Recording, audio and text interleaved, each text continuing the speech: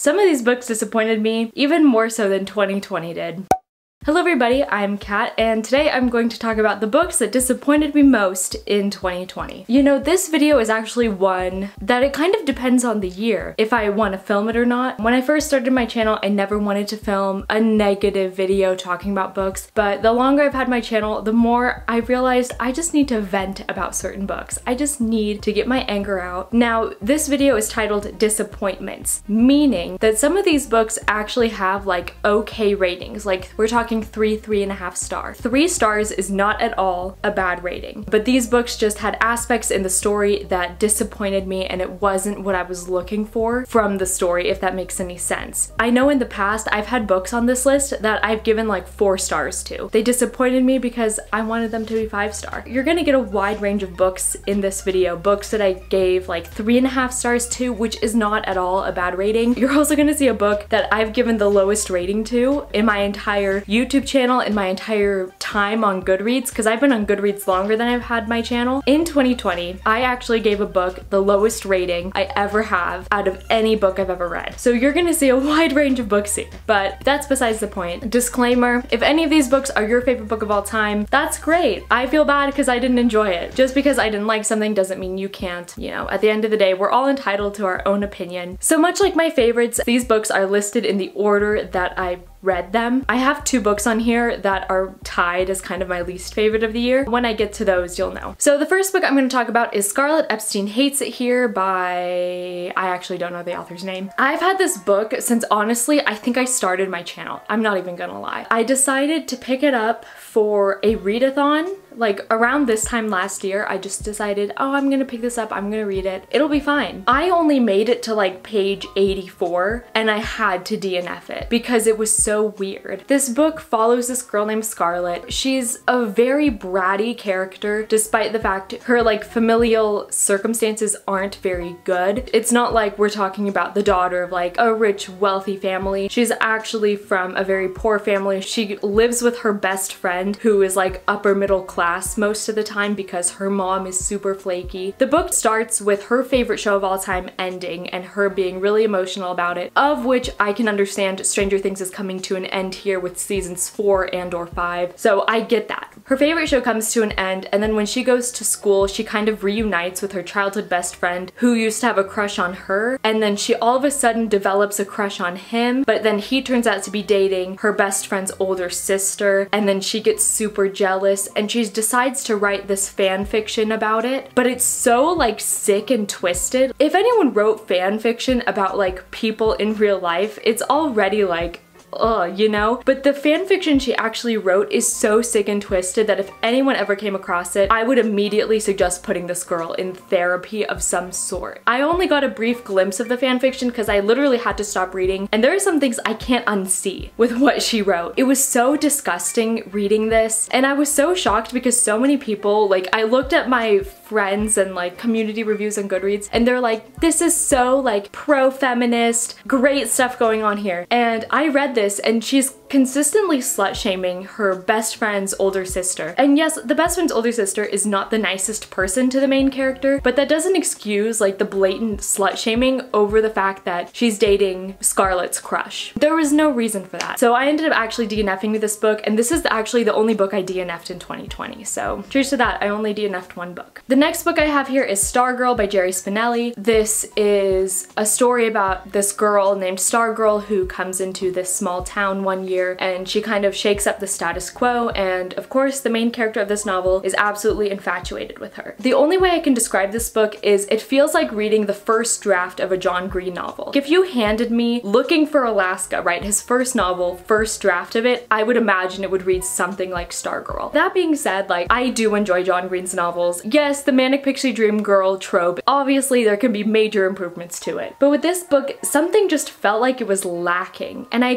can't, like, I don't know why. There was something missing from it. Now, this book is like under 200 pages, so it is a very short time. None of the characters developed, not even really the main character, and the book was honestly quite boring, and I didn't really get anything out of it. But that being said, I feel like if I read this book when I was in elementary or middle school, this would be like my favorite book of all time. I would have based my personality around this book probably, um, like I have with other books. It felt like something was missing from the story, and I wish I could have enjoyed it more than I did. I really didn't like any of the characters in it either. I hated the main character. Stargirl was the only character I sort of liked, but even then, like, she wasn't developed enough for me to actually really grow an attachment to her. The other characters, like, basically didn't exist. This is a rare case where I actually liked the movie more than the book. So the next book I have here I'm actually really sad putting on this list, and that is Paper Girls Volume 6. As you guys know, if you've been on my channel for any amount of time, I absolutely adore this Paper Girls comic series. This is the final comic in the series. The reason it's on this disappointments list is because it just went in a direction that I didn't expect, and the way it wrapped up just felt really anticlimactic. This series is so epic, and there's so many complex storylines that were developed. It ended so anticlimactically, and I felt really disappointed by how it ended, and that's why it's on this list. That being said, I think I gave it like three stars, so by all means, it's definitely not the worst conclusion I've ever read, but it just went in a direction that I didn't want it to go. Next, we have the book I have given the lowest rating to on Goodreads. I absolutely hate this book, and nothing will ever make me change my mind, and that book is Alex Approximately by Jenn Bennett. I've been looking forward to reading Alex Approximately since basically it came out. It just sounded right up my alley with the main character being a film buff, you have this online relationship thing. It was promised to be like a You've Got Mail young adult retelling.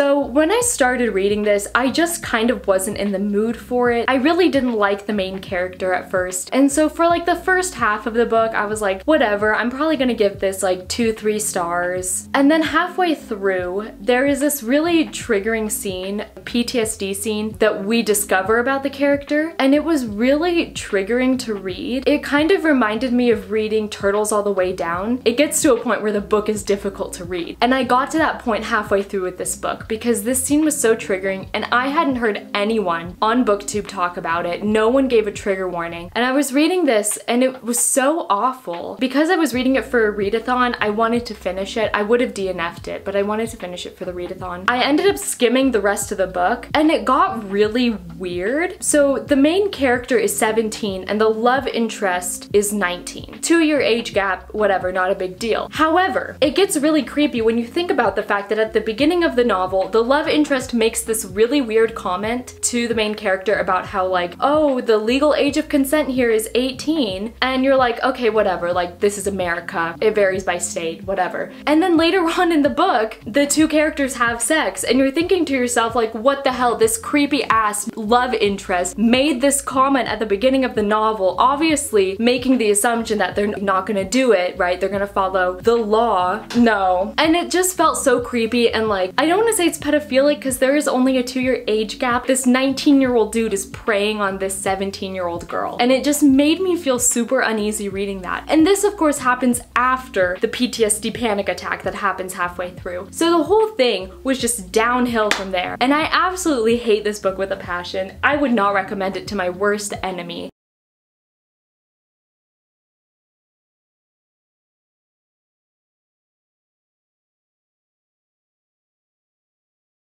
The next book on this list is none other than Midnight Sun by Stephenie Meyer. How many of you guys read this book and thought, one, why am I suffering reading this because I've already read it? And two, this book really ruined my childhood because I thought both of those things multiple times while reading this book. There are so many problematic aspects about the Twilight series and I 100% recognize that. I did read this book in middle school. I wasn't very aware of the blatant racism in the Twilight series back when I read it. I have done more research on that and so I do recognize Yes, the series is very problematic, but I did read this. I thought it would bring back some nostalgic middle school memories of me sitting alone at lunch reading this. And you know, the one day I did go to school in person this year, I did in fact read this alone during lunch, but it just sucked. I know that there are people that want the entire series now from Edward's point of view, and I hope to God Stephenie Meyer does not do that. If she does do that, I know for a fact I'm not picking up a single one of those books. I don't think I'm gonna pick up another Twilight book that Stephenie Meyer is going to write because isn't she going to write like a Jacob Renesmee series? I have no interest in that, especially after reading this hot mess. Edward overthinks constantly and I know that Stephenie Meyer has said that before, but I didn't realize how much he overthinks and his constant inner monologue was so annoying. It got to a point where I just wanted to tell Edward to stop thinking for one minute. Just for one minute. I hated being inside his head. It took Twilight and it ruined it for me. All the happy memories I had from reading it in middle school, gone. I really hate Edward. The other thing that annoyed me in this book, because Stephenie Meyer obviously got backlash for the very predator style relationship that Edward and Bella have, the fact that every time Edward thinks about Bella and thinks about like doing stuff with her, he's always like, it has to be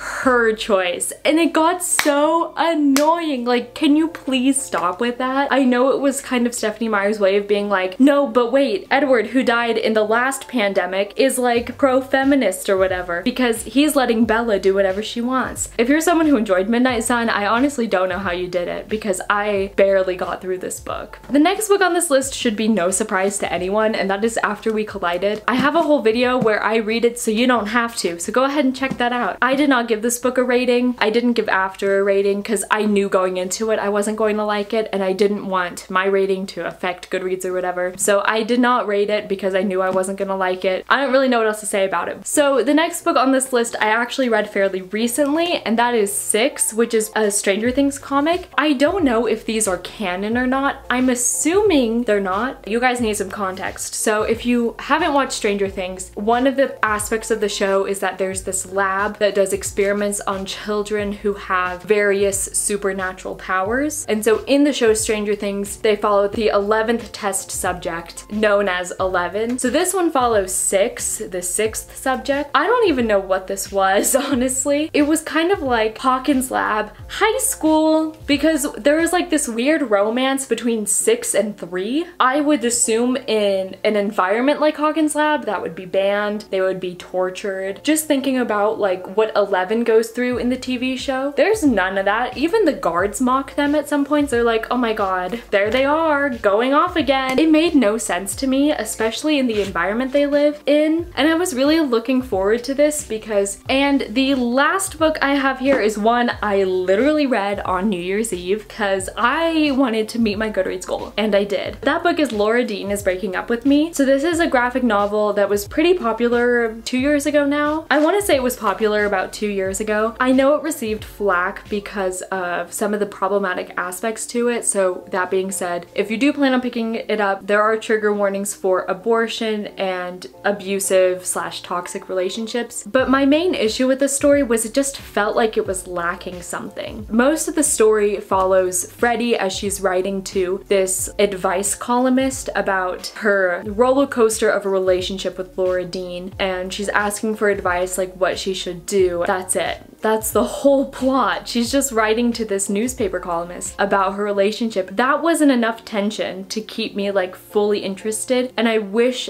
there was more to this story. I wish we got to know Freddie's best friend a little bit more than we did and we had more of a side plot line with them. Freddie's friend just kind of comes and goes and comes and goes. I don't know, I just thought the plot was kind of boring and there could have been more higher stakes to it other than what is this columnist going to say to Freddie. All right, those are my most disappointing reads of 2020. I was actually surprised because I only had like, I think seven or eight books on this list. In comparison to the fact I read 40 books, yeah, it is about a fourth of the books I read. There have been years like in 2019 where I had more disappointments than favorites. I'm just glad this year was not like that. The majority of the books I read this year I actually really enjoyed. Um, but that being said, these are kind of the outliers and a lot of them were just disappointing. I didn't necessarily hate them, but they just went in a direction direction that I didn't want them to go in. Except for the case of After We Collided and Alex Approximately. That is all I have for today's video. I hope you enjoyed it. Let me know down below some of your disappointing reads. Let me know if you agree with some of my opinions. Let me know if you disagree with some of my opinions because you know what? We are allowed to have a civil conversation. If you like this video, give it a thumbs up. Subscribe to my YouTube channel. I am doing my best to post a video daily and I will see you in the next video. Bye!